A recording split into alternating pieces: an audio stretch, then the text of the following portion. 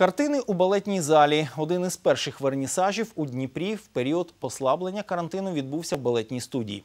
Організатори дотрималися необхідних правил безпеки. Гостей було небагато, соціальну дистанцію зберігали, а позитивні емоції як додатковий захист від будь-якої інфекції. Живопис і графіку показала відома художниця Аліна Гаєва, що зараз мешкає в Києві.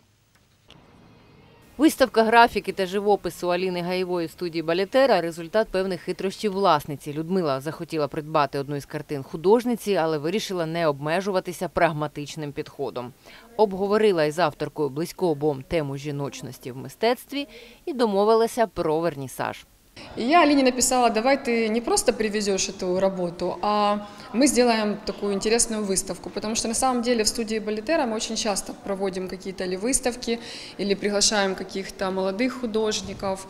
То есть мне вот хотелось, чтобы это пространство, оно так обрастало э, какими-то творческими встречами. Она привезла всю свою, все свои работы, всю коллекцию, но оказалось, что именно эта работа уже к этому моменту была продана. Художницю не зупиняє те, що її картини на два тижні стали фоном для хореографічних занять і фізичних вправ. Розширяти свою аудиторію в такий спосіб цікавий для Аліни досвід. А питання в тому, щоб е, між, між цих всіх людей, можливо, випадкових, да, е, є, знайдуться просто люди, які теж фанати живопису, як і я.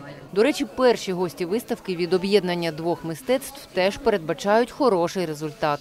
Только что говорили, вот люди, да, там махают ногами, какие-то движения делают, типа занимаются какой-то твоей своей обыденной жизнью, которая вроде бы как бы к живописи не имеет никакого отношения.